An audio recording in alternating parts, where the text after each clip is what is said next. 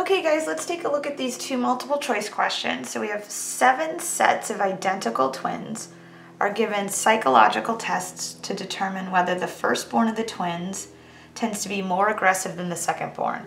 The results are shown in the following table where the higher score represents greater aggressiveness. If we are willing to assume that the distribution of differences is symmetric about the median, but not necessarily normal, then the value of the appropriate test statistic is this.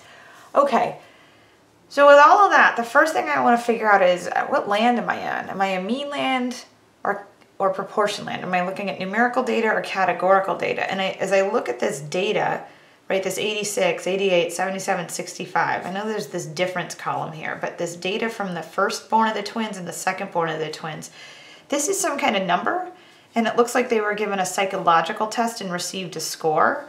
So this is numerical data. That means I'm going to be in meanland. and I can see I have two sets of data, right? I have the numbers from the firstborn of the twins and from the secondborn of the twins. And again, we're, we're measuring some kind of aggression in these twins. So do I think aggression in the firstborn of the twins might have some relationship to the aggression of the secondborn of the twins? And the answer is yes. They have the same DNA, all right? And they live in the same household. So it's very possible that a certain set of twins are more aggressive together, right, between the two of them they, than when comparing them to a different set of twins. And, and you might be like, well, I, I would think they were independent, but no, stats folks love twins because we have this, not we, I'm not a twin, because they have the same DNA and, and they can test so many things on twins where they give one twin the control and one twin the treatment. So twins are paired. So I, again, I have two sets of data, two samples, but these are paired samples because of the twinning. All right, and I'm still gonna use a t-test. And that's what this blurb is telling you to do. It's saying you're not exactly normal just yet, but you're symmetric. So don't use normal CDF, use TCDF, right? We just need a little bit more wiggle room. All right, so with that, I'm, I'm gonna do just a, like an edited version of the hypothesis test here. So, so let me move this up. All right, and try and cram it in. I see example 10 creeping. So here's how, how much room I have. So I'm gonna define mu sub d right now. And if you remember when we were looking at paired tests, whenever you have a paired test, you use that subscript of d. That barely looks like a subscript the way I wrote it. All right, so that d stands for difference. So I'm gonna say this is the true average difference that difference has got to be in your null mean when you're talking about paired data. The true average dis difference in the psychology test, all right? And the, I'll just say the psychological test, psychological test. All right, and I had been saying when we did the before and after, I like to go after minus before. Well, let's look at how they did these differences. And you, you could go either way, but they actually presented us with one way. So it looks like I have a negative 2 here. So they must have gone firstborn minus secondborn because that would give me 86 minus 88 and that would be negative 2 here. So I'm just going to write that in my hypothesis that I went first minus second.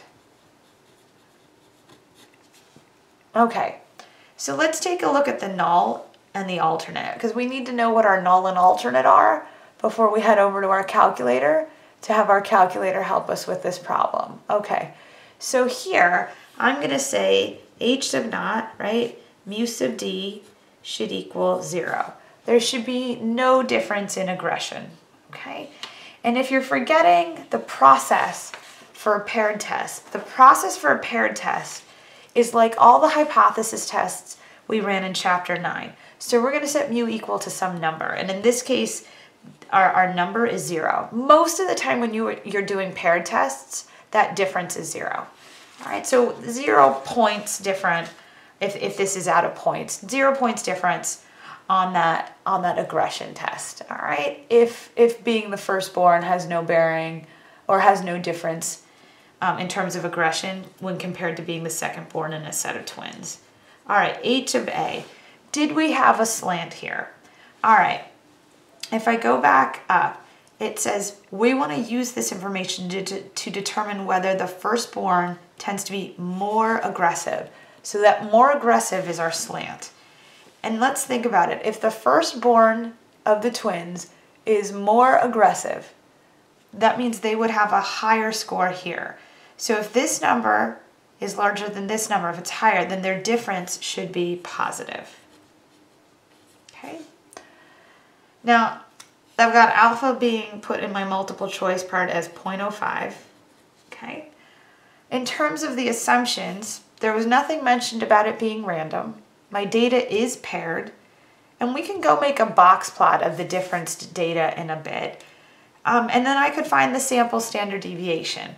So all of that's fine and good. Let's, let's go run through that. I'm going to try and cram that in here. I'll put assumptions.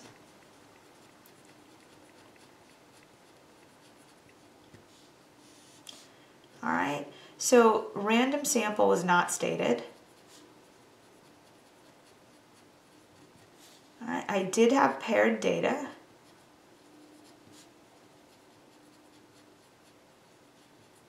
Let's take a look at the box plot. And then let's find that sample standard deviation. Okay, so here we go. When it comes to paired testing, after you get this differenced data, you do not care about your original two data sets. This becomes the only thing you care about, and you're gonna run a one sample hypothesis test off of the differenced data. All right, so you have a couple of options here. You can put this stuff in L1 and L2 and create this list, or you can just write these numbers directly into a list. I wanna show you how to use your calculator to get this list, should you ever want to. So you see I put my data in L1 and L2. Let me head over to L3. Now, usually I go L2 minus L1 because I like to go after minus before, but they did firstborn minus secondborn. So I'm going to define this to be L1 minus L2. And when I hit enter, it's going to auto-populate. And there you see those numbers coming down the pipe. Yeah. Okay, so let's make a box plot. Now keep in mind my differences are in L3. For all I care at this point, from here on in, L3 is the only thing that exists.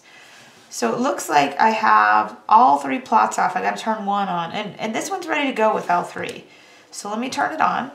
Let me hit zoom 9. And that, that thing's roughly symmetric, right? And that's actually what it said. It said this thing is symmetric about its median, but it's not necessarily normal. That's why we're going to use a t-distribution. Okay, so this is roughly symmetric without any outliers, so I'm good.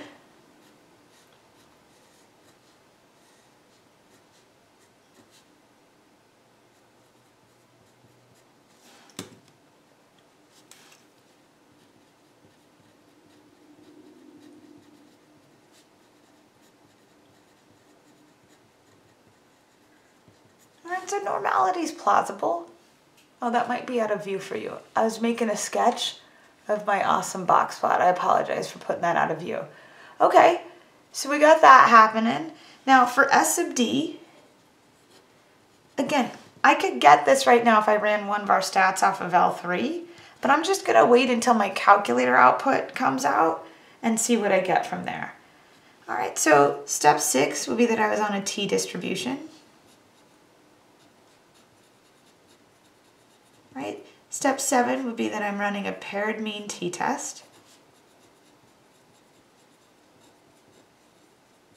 Step eight would be my degrees of freedom. I had seven sets of twins, so I have six degrees of freedom. Right, step nine is our test statistic. And if we remember that formula from back in chapter nine, right, we got x bar minus mu s over square root n. These are going to all have subscripts of d's because that's the notation we use when we have paired data. So let's take a look. We've got x bar d minus mu sub d s sub d over square root n. Now for step 10, I'm going to have to go to my calculator. I want to find all those numbers. So let's let's start going to our calculators. Keep in mind my data was in L3. And if you have trouble remembering which one you're going to do, Again, in chapter 9, when we only had one sample, and we do have one, or one set of data now, we're only caring about the difference data. We're going to do stat tests 2. So let's do stat tests. I'm going to do option 2. All right, I did have raw data. My null would be that the, the, the difference was zero. My data is in L3. What kind of alternate did I have? I had a greater than, and that's what my calculator happens to be set to. So let me go down to calculate here, and let's see what we have. Okay, so I'm seeing X bar was 4.7. 4.71, the mean would have been zero. S of D was 7.27, and I would divide that by the square root of seven. And let me go fill in S of D in my assumption, so 7.27, okay? Points. All right, and this test statistic itself was 1.71. All right, so as soon as I see 1.71 for my test statistic, I know A is gone, I know B is gone, and I know D is gone. All right, because it's asking me for my test statistic and then what we're gonna ultimately do. Am I gonna reject or fail to reject, right? So is this fail to reject or what do we reject? Let's see what the p-value was. All right, so if I wanted to get the p-value, now I could use TCDF, just so we're clear, I could have gone T was greater than 1.71, and I could have said TCDF, low, high, degrees of freedom, and I would have ultimately gotten, what was our p-value? It looks like it's about 0.07. Okay, but with all that being said, we ultimately have to decide, are we gonna reject or fail to reject? So I have a p-value of 0.07 and an alpha of 0.05. So I kind of ran out of room, but if I was gonna do step 13 here, I would say because our p-value, oops,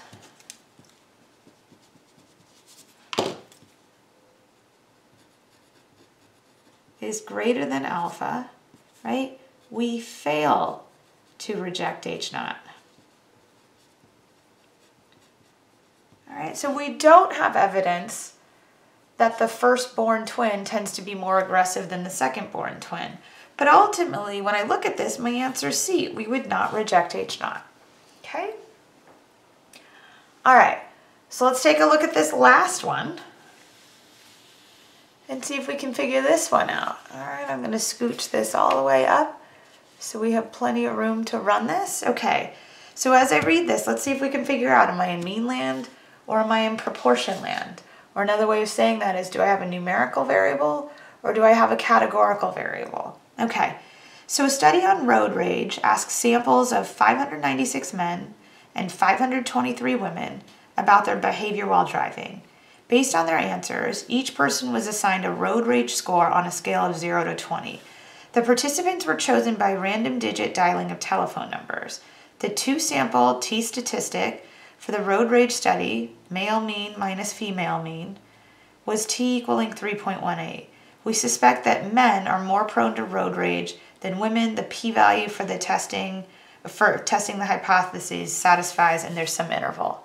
Okay, so let's let's take a look at this. They actually told us what we were in. They straight up said you're in meanland. Right?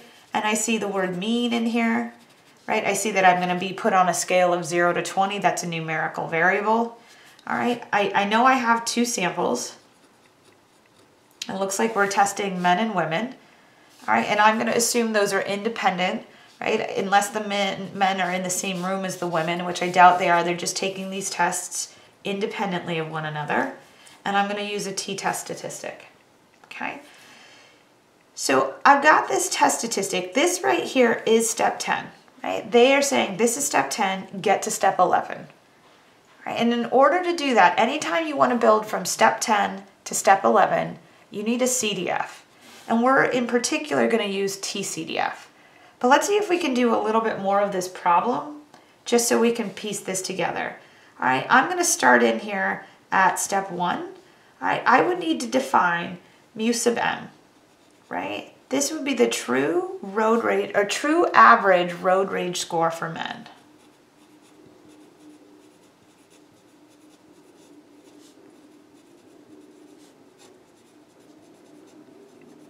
And I'll let mu sub W be the true average road rage score for women. All right, and I do need to establish my null and my alternate because my alternate will help me determine what kind of TCDF function I'm going to run. All right, so my null would be mu sub m equaling mu sub w. That the road rage scores or the average road rage score for men is the same as the average road rage score for women. And we saw the slant here, right? It said males are more prone. So we're suspicious that mu sub m is greater than mu sub w. Okay, that's great. So from here, I'm actually going to cut to the chase.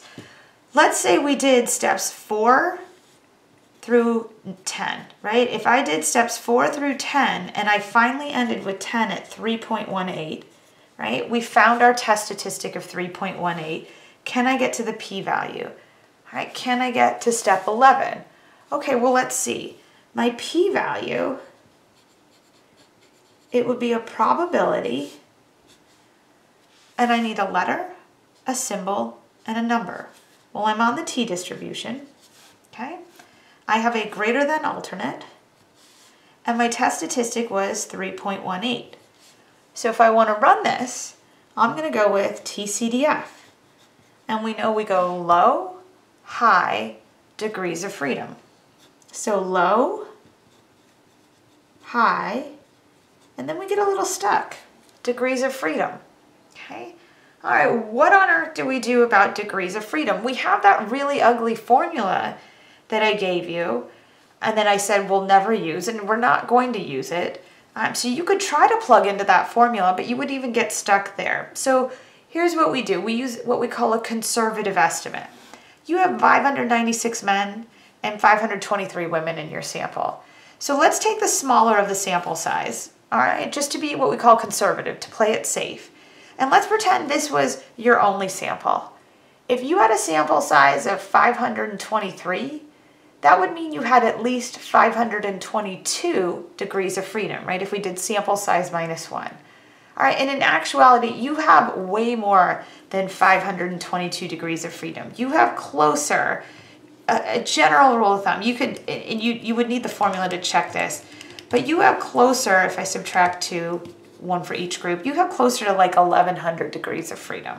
But we're gonna say you have at least so I'll put this over here. My degrees of freedom is at least 522, which is a huge number. Again, remember for normality, you need 30. Right? This is gigantic.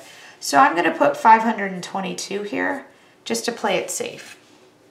Okay, so let's go try this TCDF. All right, 3.18, 1E99, and then 522. So I'm getting not 7.8, but don't forget the e to the negative 4, so 0.00078.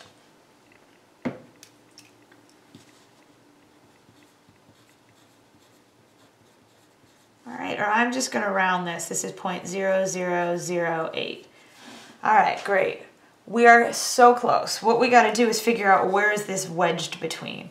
All right, so let's see. Is 0.0005 less than 0.008, and it is, right? 5 is less than 8. They both have three zeros, all right? And is 0.0008 less than 0.001? It is, because 001, there's only two zeros here, there's three zeros here. So if I rounded, 0.008 would be in here. All right, or what I mean when I round, this would be about 0.001. But again, this is technically smaller than 0.001. So let me make that distinction. All right, and it doesn't fit in any of these other intervals. So it just happened that A was our answer and that was the one I was checking first, okay?